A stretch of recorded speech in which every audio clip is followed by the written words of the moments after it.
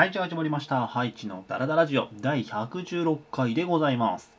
で、今回テーマというか、まあ、緊急だよね。あの、いつもの日曜日じゃないんですけど、えっ、と、10万人記念イベントを振り返ってということで、えー今日撮影が11月24日の、えっ、と、何曜？火曜かにや撮ってるんだけど、で、多分アップもね、同じ日にやってるんだけどさ、え昨日のまでの3連休で10万人記念イベントをさせていただきました。で、えっと、そこの下に書いてあるように、自分群馬県に住んでるので、まあ、群馬だけ群馬って書きましたけど、あとは、えっと、伺った駅名ですね、を、全部で何箇所だ ?9 箇所かな。名古屋だけはね、あのーなんだ、泊まるために、まあ、寄ったってのもあるんだけど、まあ、宇都宮から始まり、山形、仙台、名古屋、筑後船古屋、えー広島、新大阪、大宮、あ、ごめん、大宮八幡、六時堂と。はい。まあ、全国、もちろんね、隅々までではないんですが、えーお邪魔させていただきました。で、まあ、それをね、えっ、と、下にあって、した、こしたので、まあ、その感想というか、振り返って思ったことを、本当は昨日撮ろうと思ったんですけど、もうくたくたすぎちゃって昨日。もう、そう、だから、ちょっとね、一日空いちゃったんですけど、早いうちにね、ちょっと思ってることを素直に、ダラダラと、まあ、ダラダラジオですからね、ダラダラと話していこうと思いますので、もしよかったらお付き合いください。よろしくお願いします。じゃあ、行こうかね。あの、いつも以上にノープランな感じで始まっておりますけど、まあ、まず、まずね、あの、自分の感想、うんぬんの前に、まあ、今回、こうやってね、えっと、実際に会わせていただいた方々で、えっと、学生のお子さんだけで来ていただいた方もいらっしゃれば、あの、保護者の方、ご家族ね、みんなで来てくださった方もいらっしゃいました。まず、あの、お時間取っていただき、本当にありがとうございました。そして、えっと、今回ね、あの、会いに行くことはできませんでしたが、あの応募していただいた方、皆さんもね、本当にありがとうございました。えー、全ての方のメール読ませていただいて、本当に温かい文章に溢れたものを多々いただきました。もうそのメールを読ませていただいただけでもね、すごいこう、勇気づけられるというか、そう、ね、本当に嬉しかったですね。ありがとうございました。で、実際ね、まあ、ちょっとダラダラと、まあ全部さ、一箇所一箇所、宇都宮ではとか山形ではって話しちゃうと、多分30分がかかりそうで、あれなので、あの、まあ、ちょっとピックアップしながら話していくんですけど、まず、最初、まあ、最初といこうかね、宇都宮ね。まず1箇所目。で、このイベント、今年10万人のね、えっと登録者が10万人いったっていう記念でやったんですけど、去年も同じ、去年はね、えっと、今年21、22、23、11月のねやったんですけど、去年が21、22だっけな、20、23か忘れたけど、いい夫婦の日に被ってたんだ、去年もね。去年は1泊2日で、えー3万人記念イベントっていうことで、去年は滋賀と、えー大阪と岡山にね、言わせてもらったんですけど、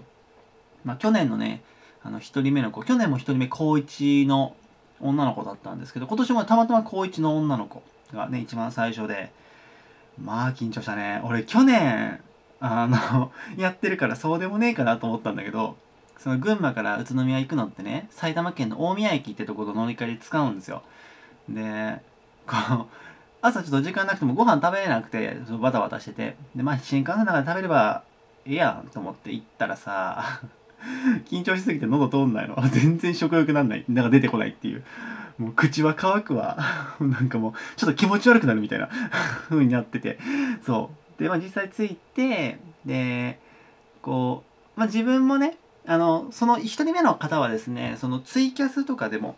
たまにこう顔出してくださってるから、ツイッターでもね、こう、あの、なんとかやりとりしたことがある方だったから、あの、アイコンを顔にされてた時期もあったのもあって、こう、ちょっと分かってたんで、自分も。そう。で、ああ、しかも服装もね、書いてくれてて、当日こういう服装で行きますからって。で、自分の方も、えっ、と、こういうキャリーバッグで、こういうの、あの、着て、着てるというか、まあ、実際書いたのは、あの、メガネのこととか、まあ、ちょっとね、書いた方と書いてない方もいらっしゃったんだけど、書いて、まあ、服装で分かるようにって形で行ったのね。で、まあ、それで見つけることができて、でもそこからあたふたですよね。そう。でもあたふたで始まって、まあ、一人とお一組、まあね、お一組1時間目安で話をさせてもらったりだとか、えー今回合計9組の方だね。で、その乗ってるやつだと名古屋は違うんだけど、仙台で、えっと、2組のご家族と話させてもらったので、1、2、3、4、5、6、7、8、9、9だね。9組の方と話したんだけど、えー合計で4回プリクラ撮りました。俺去年のイベントの時も1回だけプリクラ撮ってて、そっからちょうど1年ぶりだよね。普段プリクラなんか撮らないから俺。もう今の技術に感動しながら これ俺か？とか思いながら撮ってましたけど、でもほんとすごいいい記念になりました。ね、プレイが撮らせてもらったりだとか、あとは、まあ、全部合計、えっと、含めるんだったら、本当にね、えっと、駅の近くでベンチに座って、本当に雑談をするだけだとか、雑談ね、しゃいろいろ喋ったりとか、あとは一緒にご飯食べさせてもらったりとか、カフェでね、お茶しながら喋ったりとか、あとは、あれか、えっと、広島であれ食べたね、揚げもみじまんじゅうあの、ツイッターで写メあげましたけど、めっちゃ美味しかったね、あれね。そう、したりだとか、あと、モンストしたりとかね、したね。そうそうそうそう。イザナミ勝てなかったけど、ごめんね。まあ、いろんなことさせてもらって、本当充実した、うん、3日を過ごさせてもらいました。で、もうなんか、ね、今、宇都宮がちょっと話をしてたのに、急に全部まとめになっちゃいましたけど、まあまあまあまあ、なんつうんだろうな。シンプルに言うんだったら、本当になんか安い言葉っぽくなっちゃって申し訳ないですけど、シンプルに言うと、すごい元気出ました。お前がかっていうね。そう、俺がありがとう言うために言ってんのにさ、やっぱりまあ、ね、使ってくださってる方だったりするから、たくさんの方にありがとうってね、本当ありがとうございますって言ってもらったりとか、こう、動画自体を褒めてもらったりだとか、したりとかさ。で、こう、会って、実際会った後に、そのメールをね、いただいたりだとかする中で、実は、こうこうこういうことがあって例えばそれはあのご家族で会いに来てくださ来てくださったね方だったんだけどこう俺のねダラダラジオとか勉強動画を見て、ね、そのハイチさんの活動を見ていく中でこういうふうに変わったんですって子供がって。そういうのを聞いたりするとさやっぱりもともと YouTube ってこうネットでつながってる、まあ、このダラダラジオもそうですけどネット上だから顔がわからないでしょ？そこにリアルはないからさ。ネットっていうものを媒介にしてるから。でもともと塾講師ってやってた人間なので直でこう話すとかもうリアルで接するっていうところがすごく好きな人間なの。特に学生のみんな子供たちとね話すの大好きなんだよ俺。子供たちに実際話をしたりだとか授業をしたりだとか。そう。そういうのがすごい好きなので。でやっぱりそれがね欠如してるって言い方をしたらちょっと語弊があるかもしれないけどそこをそぎ落とした活動を今してるからやっぱりやってると特に一人でやってるからさ自分は。ねあの YouTube の活躍されてる方の中ではこうグループでね活動されてるとかこうチームを組んでとかいう方もいらっしゃるけど自分は全くそういうのがないからさそう一人でやっていくとやっぱり迷ったりだとかへこんだりだとかいろいろ考えることがあるんだけどさでも今回こうやって行かせてもらって直接ね話をしたりだとか自分なんつうんだろう。俺もともと自分のことがあんまり自信がないというか ネガティブな人間なのですごく。そう。でネガティブな人間だからこう自分なんてとかそういった発想にちょっとなりやすい。ならないように気をつけてるし、えっと、ネガティブもだいぶポジティブに直すようにね特訓してやったんでだいぶ変わってきたんだけどでもやっぱりさこうドーンっていう衝撃を心に受けたりすると、まあ、字が出るっていうか、うん、へこむとね、どうしてもこう、ちょっとネガティブになりやすい。自分の存在価値なんてないんじゃないかとか、普通に思うしね。でも今回行ってさ、こう、すごい喜んでくれる。みんなが。みんなすごい緊張してたけど、そう。俺も緊張しながらみんなも緊張するみたいな。でも、自分と会っただけで、話しただけで、涙ぐんでくれる子がいたりだとかこうすごいこう自分ね俺の動画を使うことでこうなったんですって本当にありがとうございましたって言ってくれる。そのもうなんだろう熱のこもった気持ちのこもった感情をぶつけてくれる。そう。最後みんなにこう、まあ、握手したりとかねする子もいて帰ったりねまたりしてたんだけど握手してその後メールくれたら「もう手洗えません」って言ってくれたりだとか。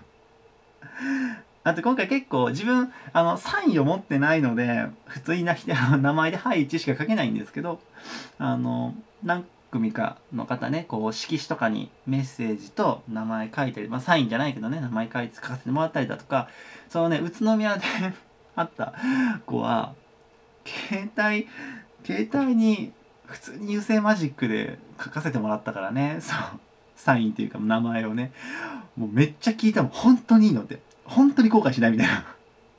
俺なんかの書いたらあかんやろって思いながら。そうでもそれをすごい喜んでくれたりだとか。うんなんつうか。ねみんなのもとに行って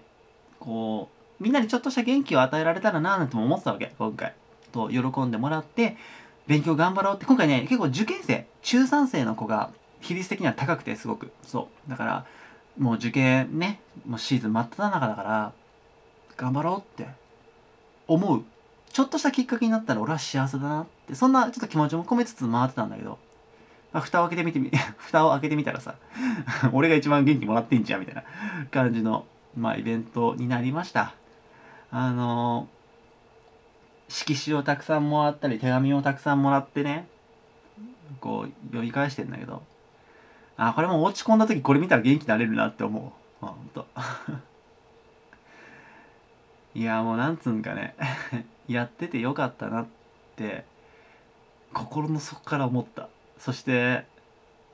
なんかこれいつも言ってるけど改めて頑張ろうっていう。そう。で俺頑張るっていう感じ普通の漢字の頑張ろうもそうなんだけど顔が晴れるって書く頑張るっていう